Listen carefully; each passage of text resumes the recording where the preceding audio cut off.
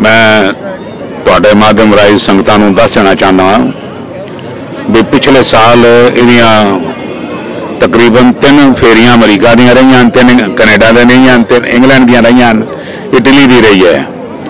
ਇਹ ਸਾਰੀਆਂ ਫੇਰੀਆਂ ਦੇ ਵਿੱਚ ਬਿਜ਼ਨਸ ਕਲਾਸ ਦੀ ਟਿਕਟ ਔਰ ਦਿੱਲੀ ਗੁਰਦੁਆਰਾ ਕਮੇਟੀ ਦੇ ਖਰਚੇ ਦੇ ਉੱਪਰ ਸੈਰ ਸਪਾਟੇ ਜਿਹੜੇ ਕੀਤੇ ਗਏ ਨੇ ਅੱਜ ਮੈਂ ਪੁੱਛਣਾ ਚਾਹਨਾ ਵੀ ਜਿਸ ਕਮੇਟੀ ਕੋਲ ਤਨਖਾਹਾਂ ਨਹੀਂ ਦੇਣ ਜੋਗੀਆਂ ਉਹ ਆਪਣੇ ਪ੍ਰਧਾਨ ਦੇ ਇਤਨੇ ਐਸ਼ ਇਸ਼ਰਤ ਕਰਨ ਦੇ ਖਜ਼ਾਨੇ ਜਿਹੜੇ ਨੇ ਖੋਲ ਕੇ ਰੱਖੇ ਨੇ ਕਿ ਇਹ ਇਹ ਜਾਇਜ਼ ਹੈਗੀ ਗੱਲ ਹੈ।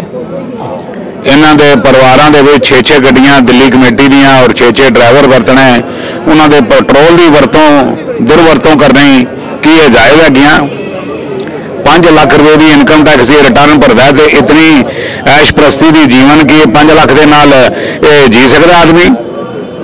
ਇਹ ਗਈਆਂ ਗੱਲਾਂ ਦੇ ਸਵਾਲ ਹੈਗੇ ਜਿਹੜਾ ਅੱਜ ਗੁਰੂ ਵੀ ਇਹਨਾਂ ਪਾਸੋਂ ਜਵਾਬ ਮੰਗ ਰਿਹਾ ਸੰਗਤ ਵੀ ਜਵਾਬ ਮੰਗ ਰਹੀ ਹੈ ਔਰ ਸਵਾਬ ਇਹ ਦੇਣ ਤੋਂ ਕਤਰਾ ਰਹੇ ਨੇ ਪਰ ਮੈਂ ਦੱਸ ਦੇਣਾ ਚਾਹਨਾ ਵੀ ਇਹ ਜਵਾਬ ਇਹਨਾਂ ਨੂੰ ਦੇਣੇ ਪੈਣੇ ਨੇ ਇਹ ਜਵਾਬ ਦੇਣ ਤੋਂ ਅਹ, ਬਿਨਾਂ ਇਹਨਾਂ ਦਾ ਛੁਟਕਾਰਾ ਨਹੀਂ ਹੋਣਾ ਬਿਲਕੁਲ।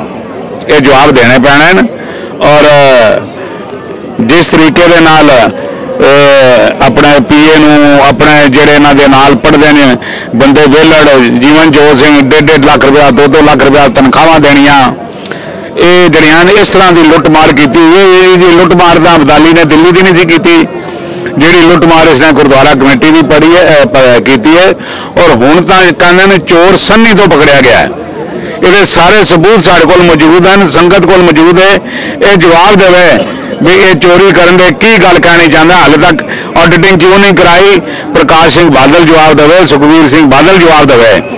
ਇਹ ਸਾਰਾ ਬਾਦਲ ਦਲ ਜਿਹੜਾ ਜ਼ਿੰਮੇਦਾਰ ਹੈ ਇਸ ਡਕੈਤੀ ਦਾ, ਚੋਰੀ ਦਾ, ਇਹਨਾਂ ਨੂੰ ਜਵਾਬ ਦੇਣਾ ਚਾਹੀਦਾ ਹੈ। ਨਹੀਂ ਤਾਂ ਸੰਗਤ ਇਹਨਾਂ ਕੋਲ ਵਕਤ ਆਉਣ ਦੇ ਜਵਾਬ ਜ਼ਰੂਰ ਲਏਗੀ। ਇਹ ਇਹ ਮੈਂ ਤੁਹਾਡੇ ਰਾਹੀਂ ਬੇਨਤੀ ਕਰਦਾ ਔਰ ਅਸੀਂ ਤਦ ਤੱਕ ਚੁੱਪ ਕਰਕੇ ਨਹੀਂ ਬੈਠਾਂਗੇ ਜਦ ਤੱਕ ਸਾਨੂੰ ਇਹ ਤਸੱਲੀ ਨਾ ਆ ਜਾਵੇ ਵੀ ਇਹ ਚੋਰ ਪਕੜੇ ਨਾ ਜਾਣ।